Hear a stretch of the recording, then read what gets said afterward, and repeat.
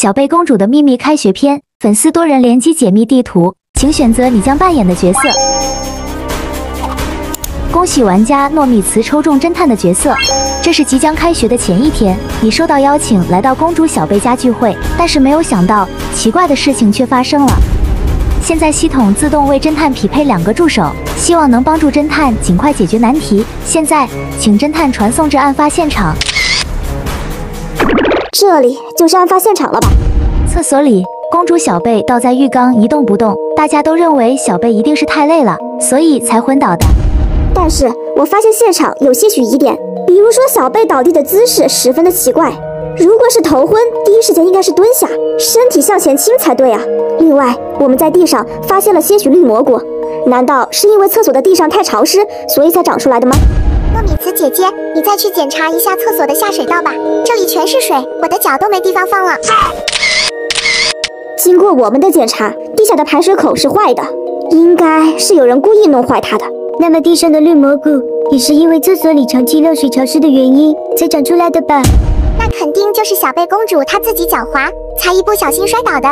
咱们还是去听听其他几个嫌疑人的证词吧。侦探们在客厅里发现了一张海报，上面是小贝公主的三号学生奖状。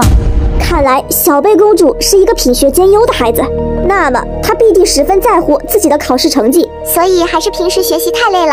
看样子是意外诶，还是先听听大龟龟是怎么说的吧。肯定是意外了。最近不是要开学了吗？小贝通宵预习没有睡觉，那能不晕倒的吗？小贝今天不是要去招待客人吗？为什么会突然出现在厕所里？呃，这这这，大概是他想上厕所吧。小贝龟龟的身旁居然也有一个绿蘑菇，这是他不小心粘到身上的吗？我就觉得他龟龟支支吾吾的，真的很是可疑，而且他身上还沾着厕所里长的绿蘑菇呢。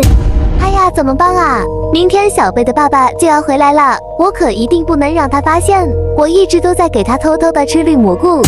原来绿蘑菇不是厕所里长的，而是有人故意放过去的。说不定厕所里的那些蘑菇是小贝发现了以后吐出来的呢。这么看来，小贝的姑妈很可疑呀。我就是贪便宜给他吃了绿蘑菇而已，可没什么其他坏心思啊。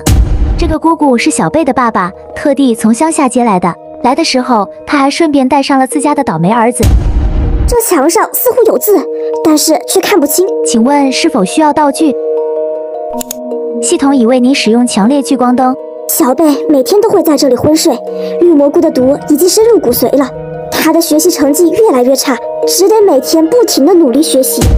我敢打赌，他的姑姑绝对知道那个蘑菇有问题，看他长得那个贼眉鼠眼的样子，就知道他一定不是什么好东西。水下好像有什么字，咱们赶快过去看一看。绿蘑菇吃了能让人产生眩晕感，并且记忆力减退。天呀，那个姑妈果然不是什么好人，赶快去看一下她那个倒霉儿子是怎么说的。请问你和你的表姐小贝？小贝什么小贝？你知不知道我有多生气？地上怎么会有这么一大滩水？那个小贝家里凭什么这么有钱？他要是不在了，这个家里的一切就都是我的了。那地上的这滩水又是从哪来的？我我我可没有去过厕所啊！对了，我刚从泳池上来。我们在隐蔽的草丛里找到了一根木棒，旁边还有一大滩水。我知道凶手是谁了。屏幕前聪明的小可爱们，你们猜到了吗？我认为是小贝的龟龟，因为我们在钢琴里发现了一条线索。龟龟欠了小贝很多马内，而小贝准备明天开学就告诉老师，怕事情败露的龟龟就背后下了毒手。不不不，我就认为是小贝自己不小心摔倒的。他都已经知道绿蘑菇里有毒了，肯定不会再上当的。糯米糍却认为是小贝的表弟干的。大家觉得我们三人说的谁才是正确的呢？